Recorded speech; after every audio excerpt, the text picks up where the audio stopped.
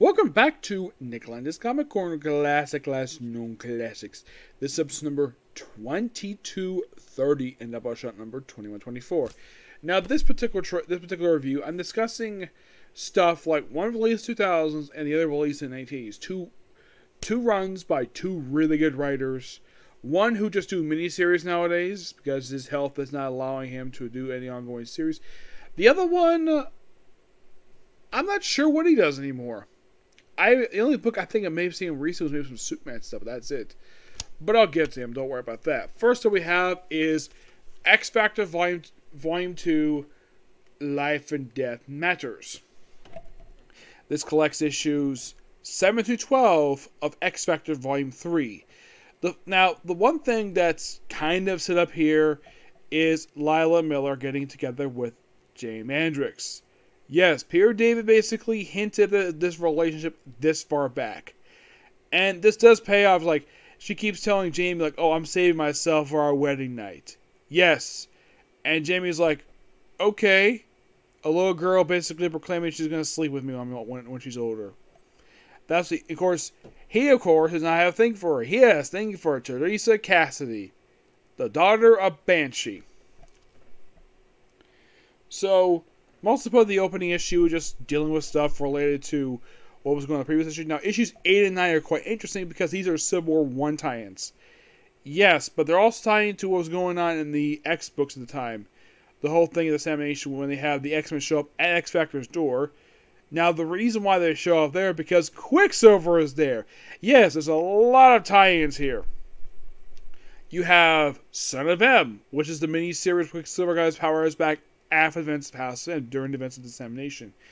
And of course, Layla told the X-Men, I know you lied about the Decimation to, to keep yourself basically like she tells them that she does know the truth about the Decimation that that the X-Men lied to the public about it. And she said that she's she's not told the X Factor about this, so they can keep their secret. And also the fact the reason they're that, they're there is because of Quicksilver. Yes, Quicksilver. And also in these issues, X Factor publicly declares they're being against the Superhero Registration Act. And the papers have it saying this where X Factor, the U.S. government, drop dead. That's what the paper printed. Twisting words. They also deal with basically a guy named Dylan Miles, I believe his name is, the guy who's basically the primary antagonist of the opening issues. He's pretty much killed off by the end of these issues by one of Jamie's dupes. Yes, we also see a debut in the here of Jamie, what, Jamie's dupes, one who's a priest. I actually know the priest in the show. Basically, one who's an agent of the FBI. There's one for Shield. Valley Cooper's in here as well. It just just continuing basically what Peter David established when we started off this run. I give this book a 9.5 out. Basically, I give it a 10 out of 10. Just really fun. I thoroughly enjoyed it. Right? No attempting suicide here. But uh, the last trade I got for, for X Factor is the stuff that leads into um, Messiah Complex. The next step is going to be quite interesting because I'm discussing issues of Thor. These were actually published in Thor by Walt Simonson, Volume 3, but I don't have the trade. So, excuse me, issues I'm discussing are issues 357, the 362, 370, and the and the Balder the Brave miniseries. Now, yes, now this is now this is getting toward this is I would say about halfway through Walt Simonson's cricket claimer from the 1980s. He actually left for 382. Why? Don't know why. And the reason I'm covering 370, I'll get to that. So, most of these issues, we to continue the. Well, here's the thing. The way they have it here is that in these in these issues, Walt Simonson has it where Lady Sif is in a relationship with with Beta Ray Bill for reasons, and then continuing that here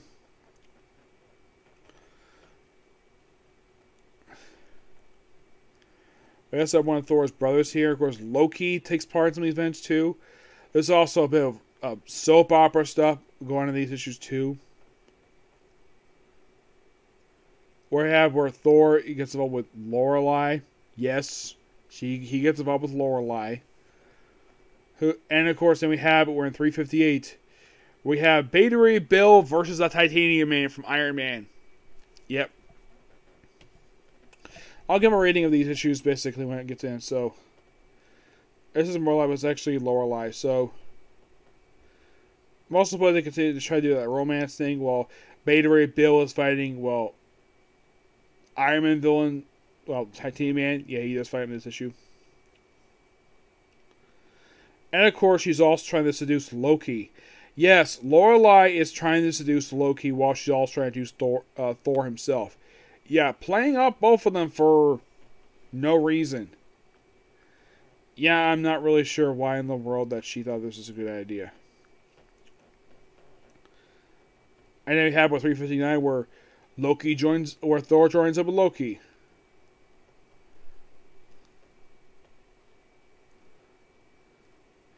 And then we have it where, get this, where Lorelei basically, now here's the thing. So Enchantress decided to make moves on Thor. I'm like, Thor, you lucky dude, you lucky guy. First you get Lorelei, and then you get her hot older sister. Yep, and there's also a bit of a lovers quarrel. There's also apparently Sif is fighting over him too. I'm like, and then he proceeds to smack her. Well, basically, he's under mind control anyways. Yes, that's pretty much in the way what's going on here. And then he finds out that Lorelei is asleep with Loki. Yep. And they get into a fight about it. Yes, it's a bunch of basically soap opera stuff.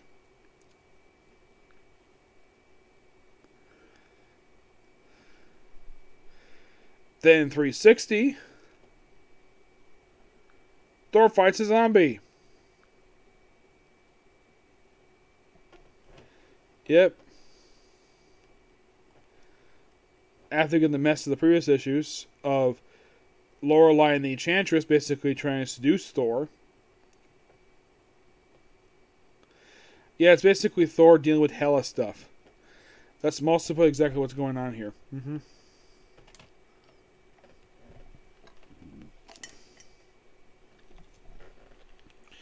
You almost might be thinking, like, what the heck is Walt Simonson doing with these issues?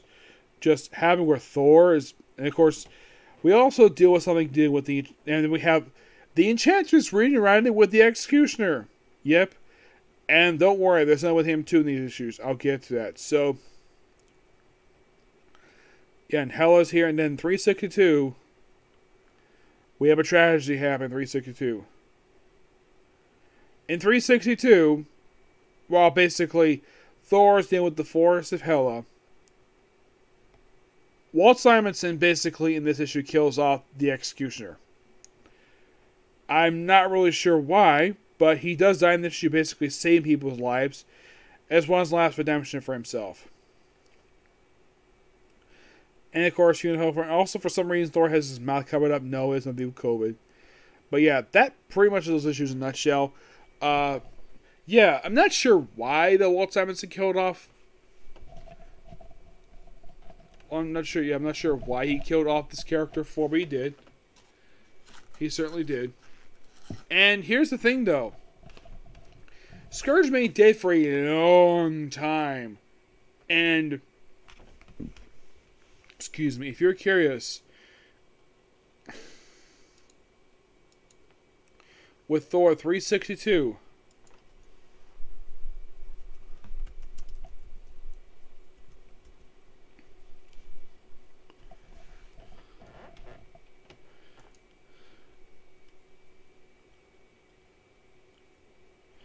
That happened back in 1985.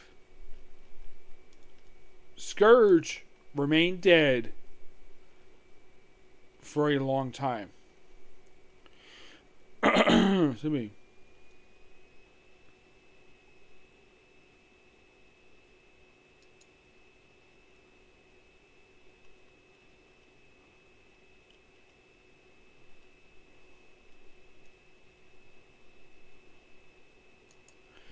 Yeah, basically, you did. He did occasionally show up, mostly in aftermath stuff. Mm-hmm.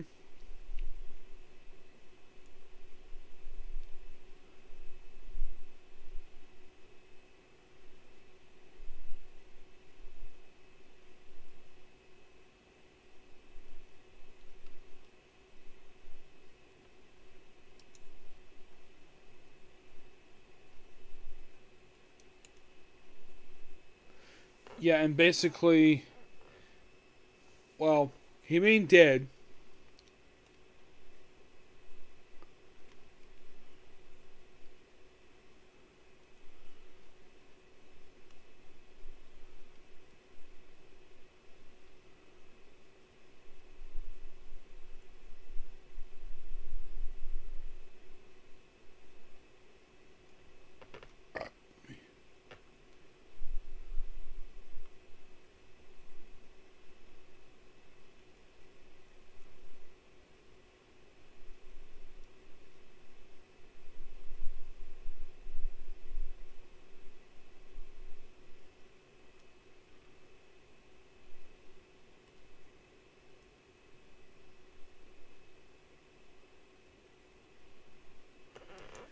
Yes, until he was brought back in 2019.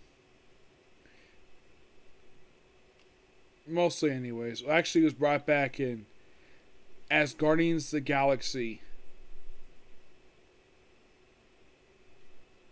Number one in 2018. So, Skurge remained dead for 43 for about 33 years. Uh, was 33? Uh, no, 43 years. He remained dead. Got praise Marvel for the fact they kept him there for that long. Mostly, mostly here whenever he was dead, but he never actually officially came back to life. And then by the end of Asgardians Galaxy, he died again. Not sure why, but he did. And it's almost like, what was the point of killing off him just to. How should I put this? Just to basically bring him back later. Which makes no frickin' sense at all. Yeah, he was only alive again for about a year, and then he died again. And you might be curious though, has appearances even after his death?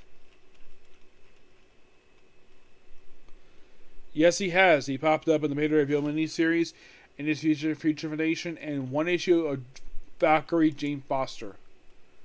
Yep. Yes. uh, by the way, I get those Simonson issues a 9 out of 10. It felt a bit lower grade than what we had before. Next up we have is Thor 370. Uh, the only issue from this era not in trade in the Walt Simonson stuff. The reason? Walt Simonson didn't write this issue. Nope, he did not. The name the person wrote this issue was Jim Owsley. And you're probably all thinking, Nick, who is Jim Owsley? You may know him today as Christopher Priest. Yep. This was, from what I can tell, a felon issue he did.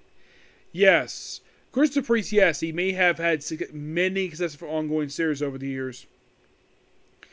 But like in the case of the like case Bill Mantlo, who is not dead, by the way, just basically still in hospital all these years.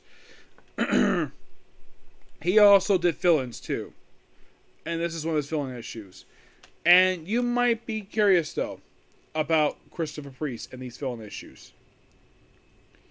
Was this the only was this the only fill-in issue Christopher Priest himself ever did? Uh, no. Not the only one he ever did, not per se, no, but uh, probably the only one for Thor he worked on. Yes, this was the only Thor she worked on as a fill-in writer. Yep, the only one. Why? I have honestly no idea why. But he has nothing much. I think the only thing he's done lately is he worked on the Black Adam series, which was really good, by the way. Mm-hmm.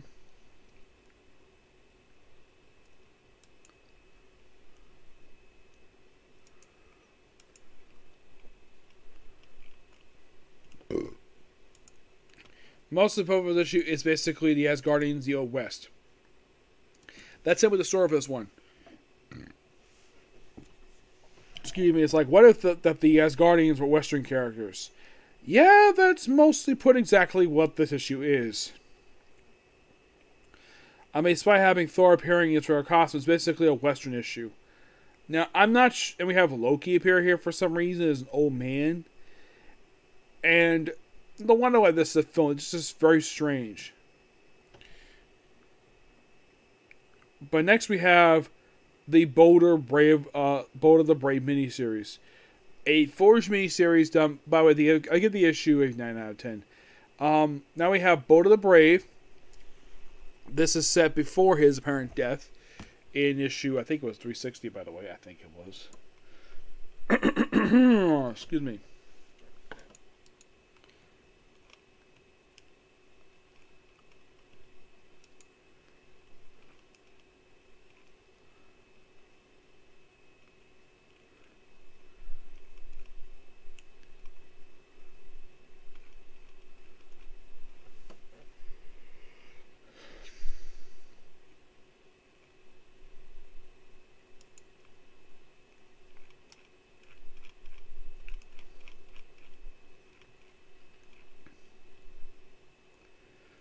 Actually, was in uh three. Let's see.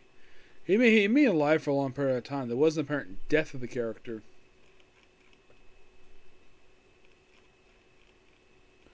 But this miniseries most took place during these issues.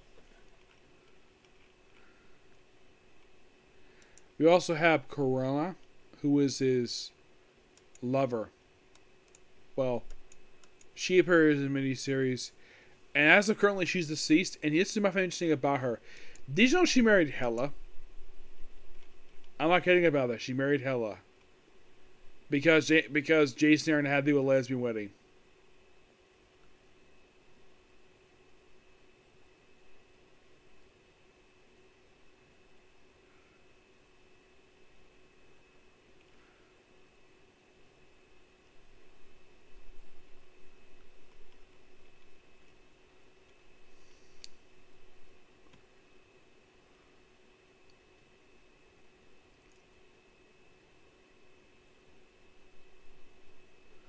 Yeah, most of us it's basically bold and adventure trying to save Asgard from Hela's invasion. As most of this miniseries is, it's written drawn by Walt Simonson.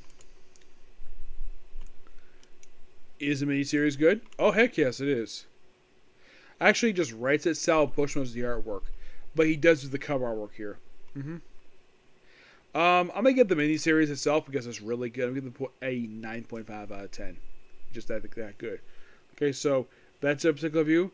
Uh, next up is going to be one more comic corner, and it's going to be quite interesting. This one. Mm-hmm. Yep. To the next video. Bye.